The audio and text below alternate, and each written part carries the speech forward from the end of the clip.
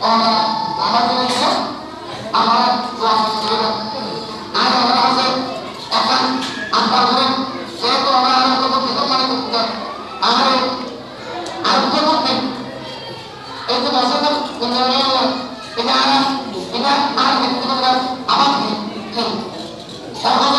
না তাকে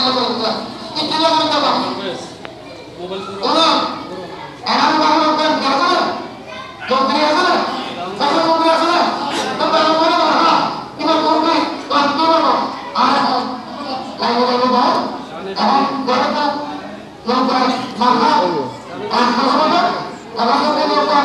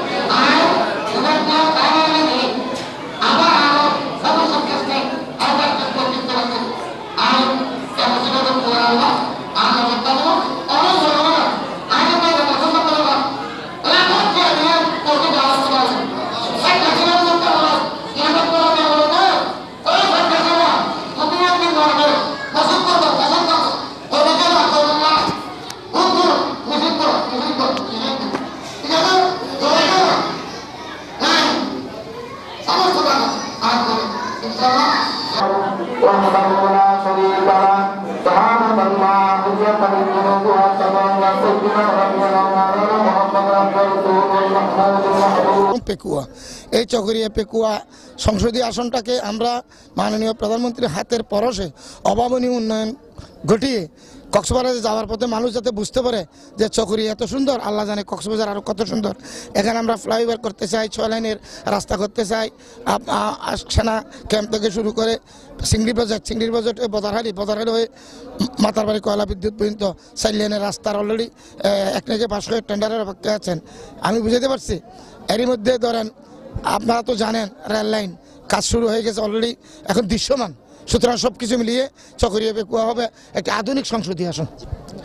আমি আসন্ন উপজেলা পরিষদের, পঞ্চম উপজেলা পরিষদের নির্বাচনের চেয়ারম্যান, পদপ্রার্থী, আমি মাননীয় প্রধানমন্ত্রী বঙ্গবন্ধুর কন্যা শেখ হাসিনার মনোনীত নৌকা মার্কার পদপ্রার্থী। আমার নাম গিয়াসুদ্দিন চৌধুরী। শখরিয়া জনগণ, আমি অতীতে ইউনিয়ন পরিষদের চেয়ারম্যান তিন চারবার দায়িত্ব পালন করেছি।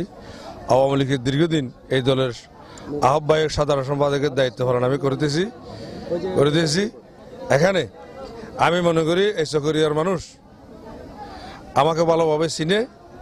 আমি কোনোদিন আমানত খেয়ানত করি নাই। আমানত খেয়ানত করি নাই। আমি কোনো এখানে দখল বা দখল করি নাই। আমি গ- মা- গাঁজা মদ খাই না। আমি সন্ত্রাসী করি না। আমি কারও মানে কোনো মুক্তিযোদ্ধার ফা কাটি নেই কোথায় কোনো লেবুর বস্তা, অস্ত্র চালান দিই নেই। আমি কোনো অস্ত্রের ব্যবসা করি না। আমি এলাকাতে একজন শান্তপ্রিয় মানুষ, আমি চকরিয়ার মানুষের দীর্ঘদিনের সেবা করে আসছি। আগামী দিনে ইনশাল্লাহ আমি মনে করি, এই চকরিয়াতে মাননীয় প্রধানমন্ত্রীর দেশ সন্ত শেখ হাসিনা যে গ্রামকে শহর করার যে পরিকল্পনা আছে, সেই পরিকল্পনা আমাদের মাননীয় এমপি মহোদয়ের মাধ্যমে এই চকরিয়াকে আমরা বাস্তবায়ন করতে করব। এটা আমি বিশ্বাস। চকরিয়ার জনগণ, আপনার আমাকে উৎসাহ উদ্দীপনার মধ্যে দিয়েই আজকে চকরিয়ার আলেম, শিক্ষক সর্বপেশার মানুষ আমাকে ভোট দেওয়ার জন্য আন্তরিক কোথায়?